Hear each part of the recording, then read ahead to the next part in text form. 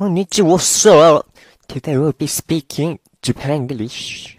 Number one, we got, we got thanks. Number two, we got, you know, store. Number three, we got, see you now.